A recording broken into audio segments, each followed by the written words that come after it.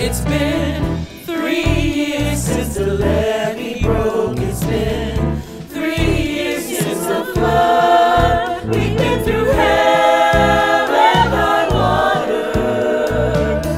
Still living in a FEMA trailer, parked in my mama's front yard. I've been through hell.